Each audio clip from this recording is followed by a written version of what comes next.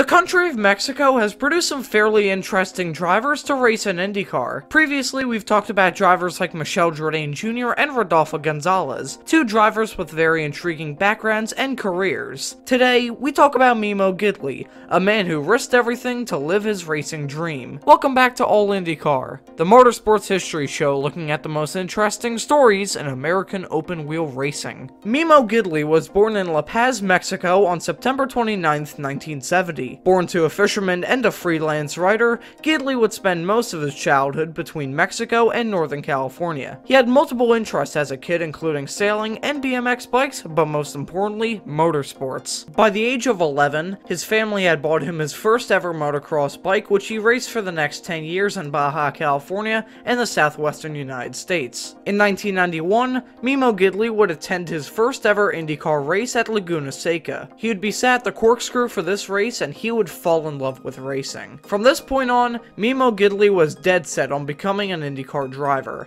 and thankfully for us, he would try and reach that goal. He would move to Monterey, California shortly after this to become a mechanic for the Jim Russell Racing School, with a deal to also race in the USAC Russell Racing Championship. Memo kicked a lot of faces in during his rookie season in cars, leading to 9 wins in the 11 race season and the championship that year. This is impressive enough, but it's even more of an achievement when you realize that Memo was homeless throughout most of this year and living in his car. The next few years in his life would be undocumented. Even on his website, there isn't anything said about this time in his life. The next racing results I could find from him would be in the USF 2000 series in 1995. This season got off to a pretty rough start with an early retirement in the first race in Phoenix, however he would make this up with a win later that weekend. He finished off this season with two more wins at Mid-Ohio and IRP, two runner-up finishes at Atlanta and New Hampshire, and other good finishes sprinkled throughout the year. In a close battle for the championship with Jeret Schroeder, Memo lost the title by only 7 points. 1996 would see Memo race in the American City Racing League for only two races where he finished on the podium in both starts, including one win that year. Along with this, he would also race in the Barber Dodge Pro Series this season, but this season wasn't good. For the next two seasons, Gidley raced in the Toyota Atlantic Series where he found a fair bit of success. Even though he didn't win the championship in 1997 or 1998, he would finish second and third in the championship these two seasons. Gidley and Lynx Racing would get 5 wins, 9 podiums, and 15 top 5s across their time together in the Toyota Atlantic Series. CART teams were still happy with Memo's pace and decided to promote him into the series for 1999. However, Memo wouldn't get good equipment to show off his talents. For the 1999 CART season, Memo Gidley would race for Walker Motorsports and Payton Coyne Racing with part-time schedules with both teams. Starting 10 races that year,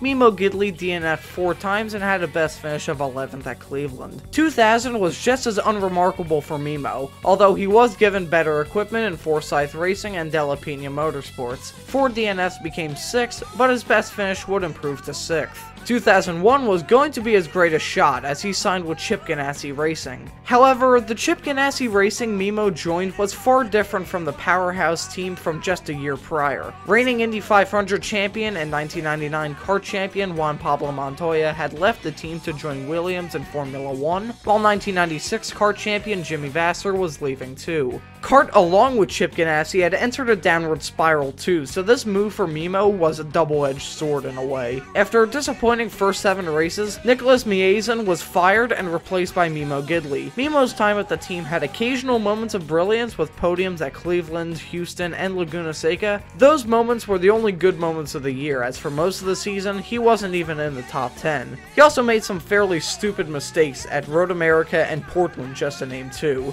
This would sadly be the end of the road for Memo, as after this season came to an end, he would only make three more starts between Champ Car and the Indy Racing League. After his IndyCar career was over, Memo would move to the world of sports cars, where he's made a solid career that is still ongoing as of me making this video in early 2022. The only hiccup in the road was the 2014 Daytona 24, when Memo would suffer a broken back and other injuries in a terrible crash about three hours into the race. Since then, he's made a full recovery and continues to win races in GT America to this day. Memo Gidley's story is one of the most inspirational I've covered in this series. He grew a racing career from pretty much nothing and sacrificed a lot to make that racing career work. Although he didn't find much success in karts, you can't say he was a bad driver. He went from seeing his first IndyCar race to racing an IndyCar in only 7 years. That's a meteoric rise through the ranks for anyone and it should be remembered by the media and fan base alike.